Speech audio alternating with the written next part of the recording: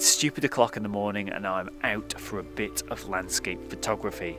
Now, what has attracted me out this morning is the beautiful clear weather you can see above me here. There's not a cloud to be seen anywhere. It's quite remarkable actually. Um, but usually I tend to avoid mornings like this because without some cloud definition in the sky, generally sunrises tend to be a bit flat by and large. However, these kind of clear skies also at least give you the 100% guarantee that you're definitely going to get some sunrise light coming into your scene and generally you get very good clarity in the air as well which makes for fantastic vista shots and that's exactly what I'm going for this morning. Behind me here this is a ruin called Killer Brega. Um, I have visited here on previous vlogs. I'll link to the top on one now, but it's one of my favourite spots on the entire island. And what I'm going to try and do is shoot this with the sun rising behind it, which is something I have never attempted before.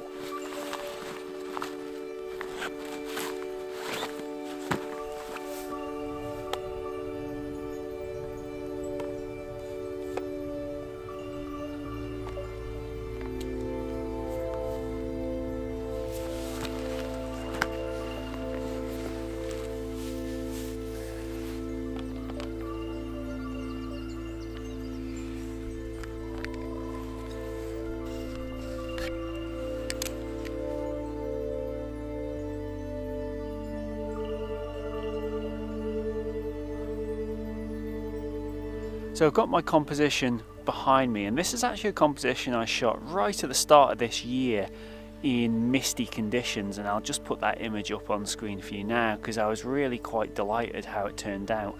But needless to say chalk and cheese conditions today because it's completely the opposite.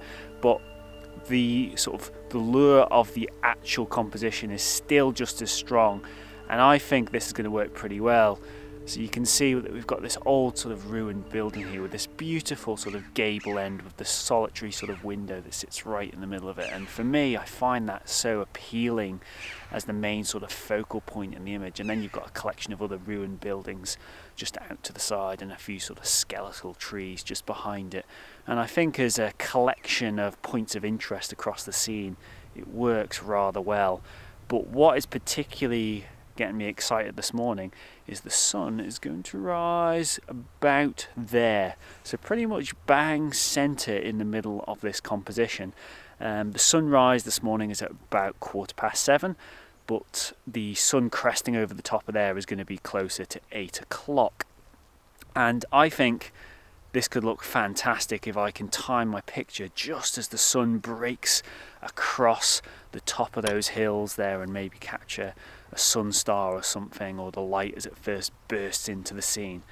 I feel there's a lot of potential there so I've painted a picture of what the image looks like in my mind it's just trying to make that a reality now.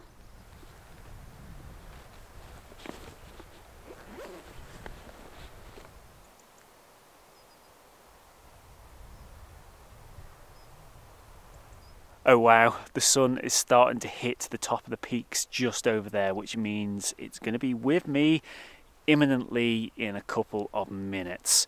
So I'm going to have to put the vlogging camera down and focus entirely on getting this image because the window of opportunity to get that sun star when it crests over the top of the hill is going to be less than a minute. I'm probably going to have a few seconds to get it at its best. So I have to be focused entirely on the mission. So I'll put you down and I'll come back to you.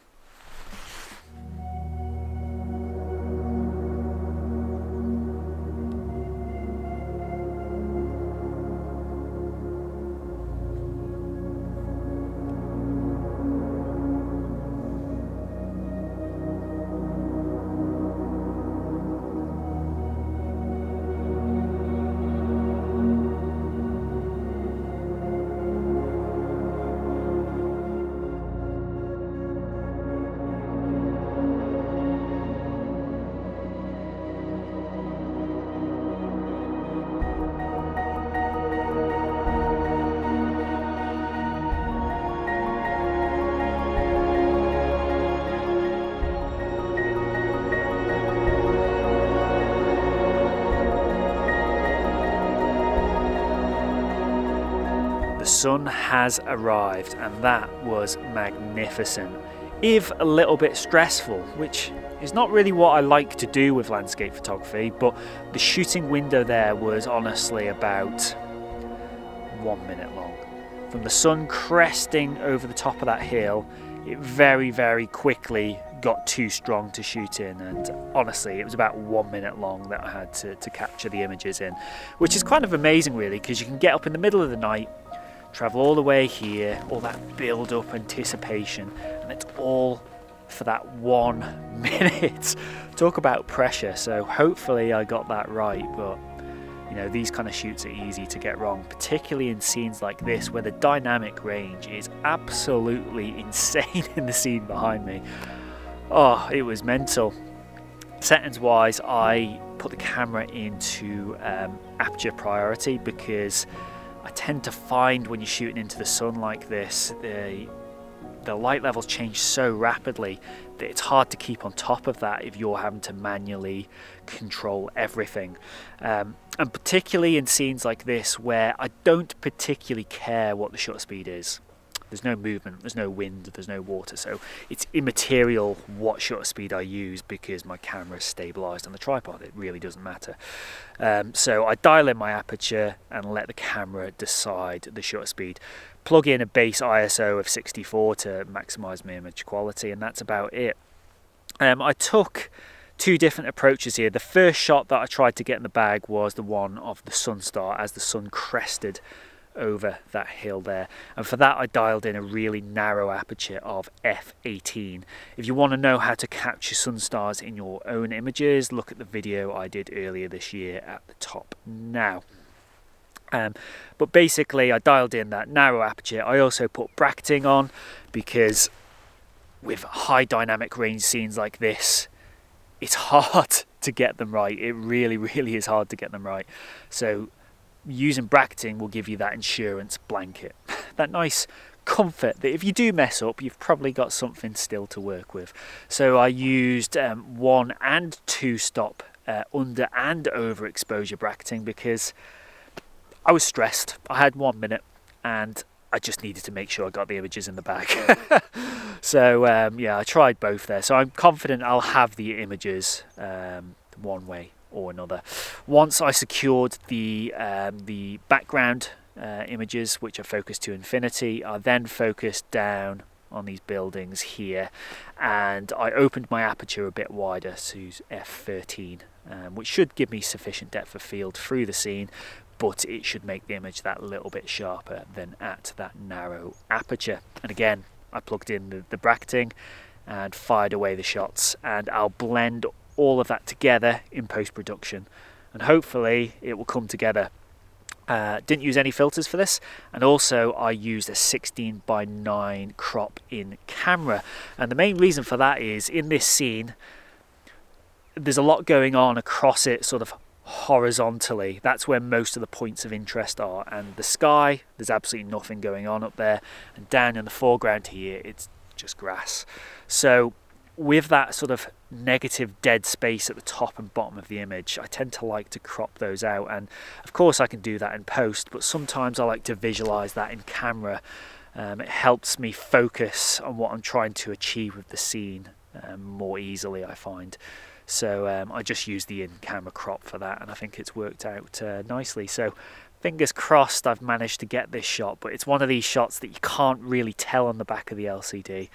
I'll only know when I get home and I start putting the pieces of the jigsaw together. The one day that I don't wear wellies is the one day that I really regret not wearing wellies. I came out thinking, well, Look at the skies today. The weather's been absolutely bone dry lately. I don't need to wear wellies, but I don't know. I'll take you down there. My feet are absolutely soaked, and that is from the dew on the grass. There's so much moisture around, absolutely ridiculous. Um, one other quick thing I thought I'd mention is I don't know whether you've noticed, but I am using a uh, remote shutter release or cable release. And I think for these kind of shoots where time is of the essence. These things come into their own. Now usually for all my landscape shooting I use the exposure delay on the Nikon camera here and I usually dial in an exposure delay of three seconds and I tend to find that that's an effective way to mitigate against vibrations put into the camera and tripod from my own hands. But when my shooting window is about one minute long, I can't afford three seconds delay before every single image otherwise I'm going to waste the vast majority of that shooting window so I turned exposure delay off and I've used the cable release and it makes it a lot more efficient to get through your shots so I see a lot of people out there saying you don't need cable releases anymore I wholeheartedly disagree. I use mine quite a lot, and this is just one example where they really come into their own.